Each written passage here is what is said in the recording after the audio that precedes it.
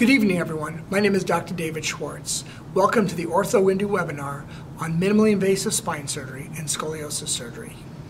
An outline of what we're going to go over tonight. First of all, I want to formally introduce myself. Again, I'm Dr. David Schwartz. I'm an orthopedic spine surgeon at Ortho OrthoIndy. I've been practicing for 25 years.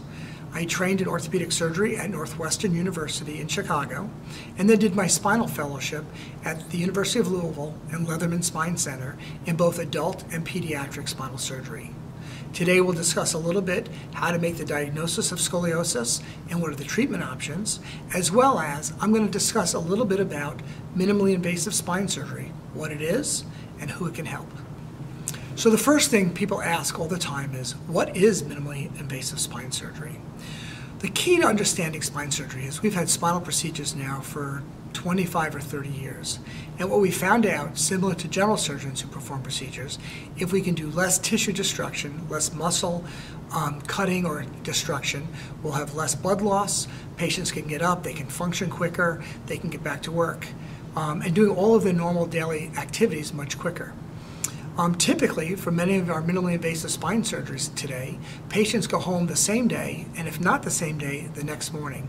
Additionally, we don't have to use any of the strong narcotic pain medications that everyone hears our problems with. And the key, again, is to be able to perform a surgery that has just as good an outcome, if not better, than the traditional surgery, and it has to be safe and effective. So again, patients ask all the time, what types of surgical procedures can be performed in a minimally invasive uh, technique. The first and most common one is the microdiscectomy. These are for patients who have a disc herniation in their low back. They develop sciatica where their pain is in their back, radiating down their leg. Oftentimes they'll get an MRI, see that there's a disc herniation, and this procedure takes about 40 minutes. Um, you come into the hospital, we do this small procedure where the incision is less than a half an inch. Um, and usually within an hour after surgery, the patient's able to go home. We actually trim off that little piece of disc that is protruding out and putting pressure on the nerve. I use the analogy of almost like trimming a hangnail. This surgery has become so common that it's really in and out. Um, almost no risks, and usually the patient is back to doing their normal activities within a few days. Next, we're going to talk a little bit about scoliosis and scoliosis surgery. The number one type that we're going to discuss tonight is something called idiopathic scoliosis or idiopathic adolescent scoliosis. And this is a type of curvature of the spine that affects most teenagers. Most of you have, at some point in your life, was screened for scoliosis in school. Unfortunately, today, they don't really do that, and they rely on the parents to either see that there's a deformity in their child's back, or when they go to their well patient visit with their pediatrician or family practice physician and have their back checked. Scoliosis tends to run in families because there's a genetic component. We know there's about 300 genes that cause this, and depending on how many of these genes your child has will depend whether or not they develop scoliosis and how severe. We know that 2 to 3% of the population has idiopathic scoliosis, but the good news is that only 0.2 to 0.3% of patients develop a curvature that's great enough that it requires some type of treatment. Typically, we start to talk about bracing at a certain degree, and then we talk about surgery when the curve is usually over 40 degrees. Most commonly, again, we see this spinal curvature in children, but there are children who are never treated and then become adults, and so we can have adults with presentation of their idiopathic scoliosis. As I stated, since school screening is no longer being done, we ask that families and parents try and screen their children if possible. Some of the things we recommend doing, and usually around the age 12 or 13, is just to look at your child from behind. You want to make sure that their shoulders are level, that their shoulder blades look symmetrical, that their head is centered right over their pelvis. Then we will often tell them to do a bend and bend forward at the waist, keeping their legs straight, their knees straight, and letting their hands hang down. And if the parent stands behind them, if there is any type of scoliosis, oftentimes one of their rib cages will stick higher than the other. Um, lastly, you can look at their waist to see if they have a crease on one side versus the other. And another great thing, especially for girls who are wearing bathing suits at the end of the summer, if you look at those tan lines, if the tan lines aren't symmetrical, if it looks like the tan line is off to one side or the other, that's also very indicative that there may be scoliosis. So these are good things that you can do on your own just to check your children. Now, people ask, how often do I need to check them? I'd say once every six months to once a year. And if you notice any questions at all, please feel free to contact us here at OrthoIndy and have one of our spine physicians evaluate your child. That's what we do. We want to take care of them. The best news we can give you is that they're completely normal, but if they have a curve, we'll let them know exactly what we need to do to take the best care of them possible. So next we're going to talk a little bit about treatment options.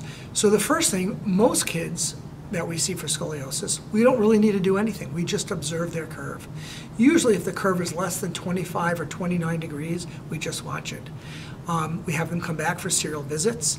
Um, if it's 29 degrees, we'll probably see them back once every four months. If it's under 10 degrees, we may see them back once every six months to once every year. When we do see them back in our office every four months, we'll repeat an x-ray that we can perform at the OrthoIndy office itself, and we'll evaluate them. If the curve starts to progress and get larger than 29 degrees, but less than 40, we'll usually talk about a brace. Your surgeon and physician will talk about the options of bracing, the pros and the cons of it, and if it's right for you and your child to take that course of action for treatment. Lastly, curves in children that are greater than 40 degrees, we start to talk to, about surgery. Most people are very nervous once they hear about surgery, but what we try and do is reinforce and inform patients and their families that actually scoliosis surgery nowadays is very safe. I perform this surgery almost every week or two weeks on children. Um, I perform spinal surgery every week on people. Um, but on this surgery in particular, it's very, very safe. The risks are extremely low, probably less than 1%. And we take the best care possible with the most state-of-the-art equipment um, there is anywhere in the country. And most children, I get up walking that night of surgery. The, the following morning, we have them continue to walk, and usually within two to three days, we have them home. I tell most families if we do the surgery during the school year that they'll probably miss about two weeks of school and then be able to go back to school. Um, by six weeks, most children are doing all their normal activities. I have children playing softball, gymnastics, tennis, basketball, all by six weeks. So it's really nothing to be afraid of. Another thing I try and reassure families about is that once their child is treated for scoliosis, their life will be completely back to normal. They'll be able to have children, work, um, and do everything the normal child would do. So the thing is not to be afraid of this, not to be afraid to come in, but to really have your child evaluated and let's figure out a course of plan for treatment so they can get back to being children again. Here's an example of an adult who presented with scoliosis. This patient had scoliosis that went untreated as a child. She presented to me with um, incapacitating back pain, leg pain, sciatica. She used to love to scuba dive, to garden, and she couldn't do any of the things she wanted to do. So actually, I took care of her, and I actually performed a minimally invasive spinal surgery on her for scoliosis. And you can see on the picture on the left where we have a line extending down from the base of her neck, and you can see how her, body is shifted off to the side to the right. You can see on the x-ray just as well how curved her spine is. Going through a minimally invasive approach for scoliosis surgery is one of the techniques I've helped develop. This patient was only in the hospital for three days as an adult, and she's 70 years old. We were able to straighten her out her spine, and you can see on the picture now where her head is centered right over her pelvis, and you can see how straight her curve is. Within six weeks, she was scuba diving and planting and working in the garden and bending and doing all of her normal activities. She felt like she had her life back. You know, and at 70 years old, you want to get as much of your activity back as quickly as possible. In conclusion, I'm happy to answer any of your questions now that you can submit to me through the chat room. However, if you don't get to submit a question or there's something that isn't answered, at the end of this webinar, you will receive an email and that'll give information of how you can contact me with your questions or schedule an appointment to see me. Thank you very much for attending, and I hope we've been able to provide some very valuable information for you.